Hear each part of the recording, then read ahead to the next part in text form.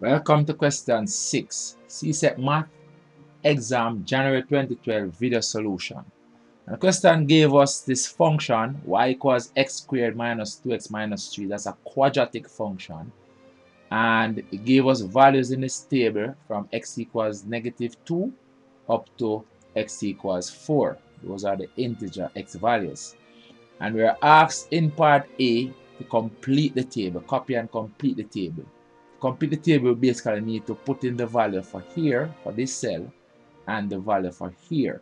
Now in this cell the x value is negative 1 so we need to substitute that negative 1 in this function equation and and that will give us the y value for here.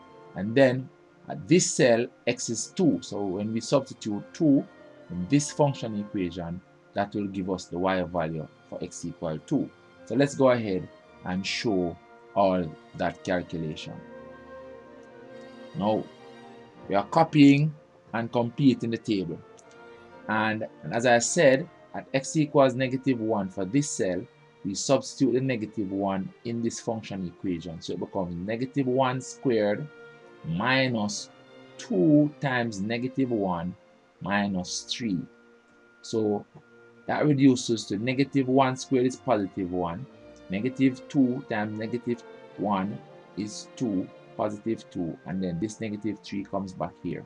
And we see that this works out to 0 1 plus 2 is 3 minus 3 is 0 so that's the value of y for this cell 0 and we can go ahead and show that value.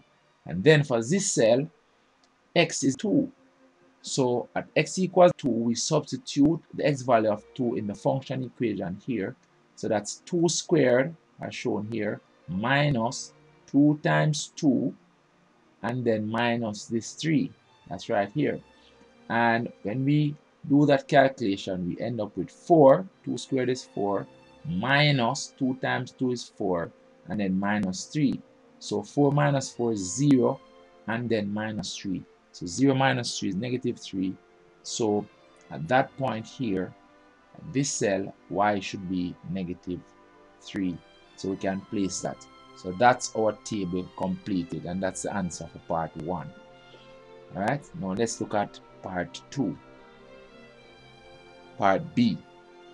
Part B says we are to use a scale of 2 centimeters to one unit on the x-axis that's two centimeters to one unit on the x-axis and one centimeter to one unit on the y-axis to plot the graph. This is a table that we carried forward. All right so what we want to basically do is plot these points on a graph right? So based on the instruction those would be the points.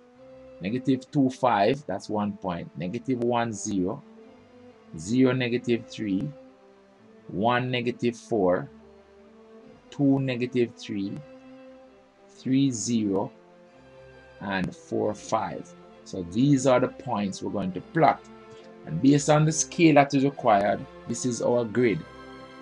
2 centimeters is one unit. Let's say each of these grid lines represents one centimeter right? So 2 centimeters is one unit on the x-axis and one centimeter is one unit on the y-axis. All right so that's the instruction. Two centimeters to one unit on the x-axis one centimeter to one unit on the y-axis. And we are now basically going to just plot all these points. And if we put those points in that's what we have. Negative 2 5 for this one. Negative 1 0 for this one 0, negative 3, that's for this one. 1, negative 4, that's for this. 2, negative 3 for this point. 3, 0 for this one. And 4, 5 for this one. So those are all the points. And all we need to do now is draw a smooth curve through those points. So that's the graph representing this function. Right? And that's a quadratic graph. That's a parabola. That's a minimum turning point right here. Right? So that's a parabola for this graph, a quadratic graph. It's a minimum smile shape parabolic quadratic graph. right? And then now we're asked in part C of the question to find the y value, estimate from the graph the y value when x is 3.5. We have to do it from the graph, not by calculation. And we have to show on the graph how we carried out that estimation. We are not supposed to calculate it from the function. We are supposed to do it from the graph. So where on the graph is x equal to 3.5? That's right here. That's where x is 3.5. Alright? So we can mark 3.5 and then we have to go up on the graph.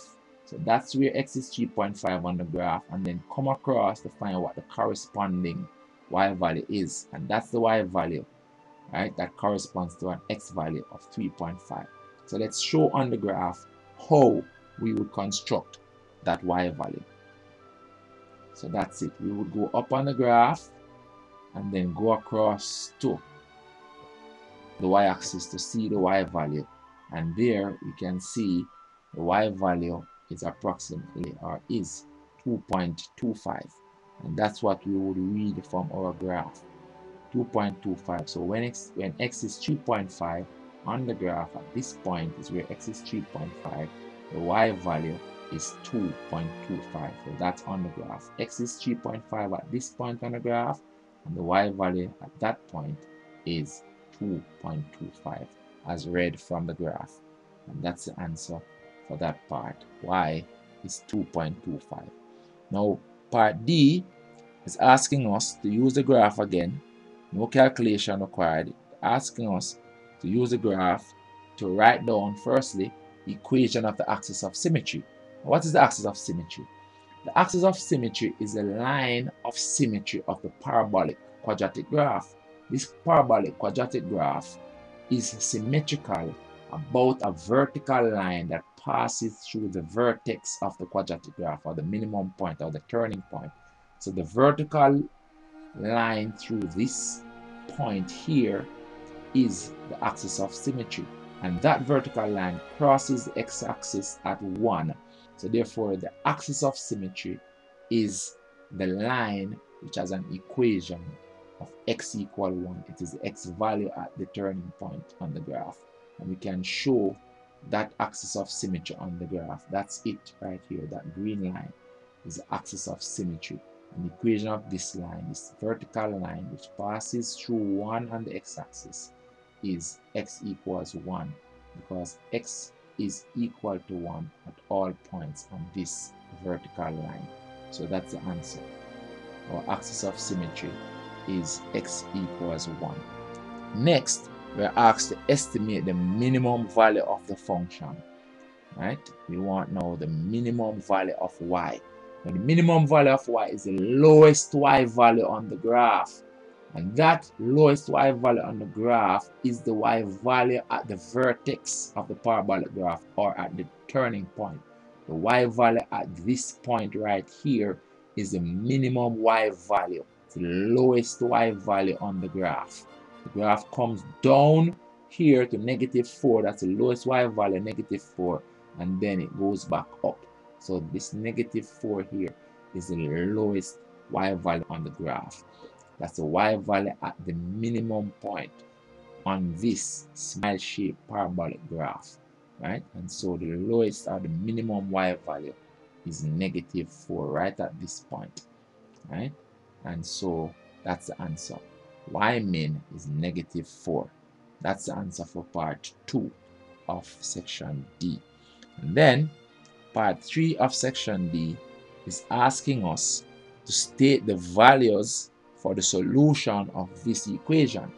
Now this is the quadratic equation associated with this quadratic function. And the solution of the quadratic equation gives us the roots of the quadratic equation. These are x values where the quadratic graph intersects the x-axis because this really is the same as saying y is equal to 0 because x squared minus 2x minus 3 actually is y. So this equation is basically asking us where is y equal to 0 and y is equal to 0 on the x-axis. All points on the x-axis y is equal to 0. In fact, the equation of the x-axis is y equals 0. Right? So on the graph, y is equal to 0 at this point and also at this point. And in fact, in the table, we could see that y is 0 when x is negative 1 and also y is 0 when x is 3. And we can see that on the graph. x is 3 when y is 0 here and x is negative 1 when y is 0 here. So therefore, these two points are the points representing the solution for this quadratic equation. Right? So we can highlight those two points. And at those two points, the x values that would therefore satisfy this quadratic equation would be x equals negative 1 for this point and x equals 3 for this point. So those are the x values that would represent the solution for this quadratic equation right? And that's the answer for question 6 right? And we'll look to do question 7 in our next video right? So see you then